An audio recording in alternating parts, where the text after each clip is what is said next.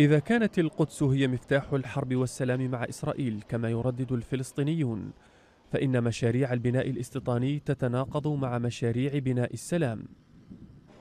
هذا السلام الذي ظلت فرصه تتضاءل حتى تلاشت أمام امتداد ظلال المباني الإسرائيلية في الضفة الغربية والقدس.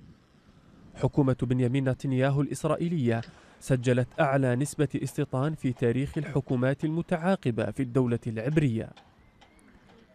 وفضلا عن المنازل الخمسمائة التي أقرت أمس أمر نتنياهو قبل أسبوع بالمضي قدما في تنفيذ خطط لبناء نحو 600 وحدة استيطانية و400 وحدة أخرى في جبل أبو غنيم وهو حي آخر بالقدس الشرقية. وباتت اليوم تعتمد طرقا وأساليب جديدة في التعامل مع البناء الاستيطاني. تتمثل باعتماد مبدأ السرية في الموافقة على مشاريع البناء في الأراضي الفلسطينية المحتلة.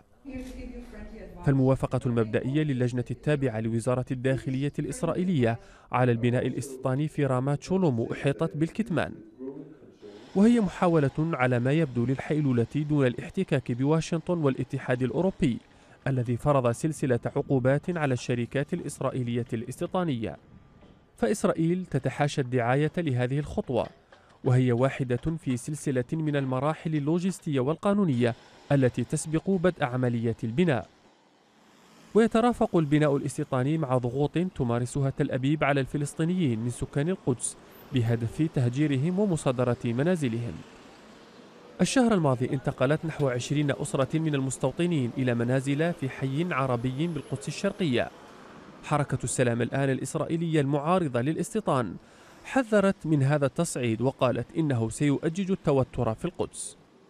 هذه المدينة التي تشهد مصادمات يومية بين فلسطينيين من رماة الحجارة وقوات الشرطة الإسرائيلية التي تحمي المستوطنين وتغطي هجماتهم المنظمة على باحات المسجد الأقصى.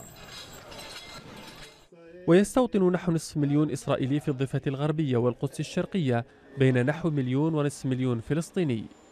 محكمة العدل الدولية أصدرت حكما بأن المستوطنات التي شيدتها إسرائيل هناك غير قانونية لكن الفلسطينيين يرون أن التمسك بهذه الأحكام وحده لا يكفي في معادلة الصراع مع إسرائيل.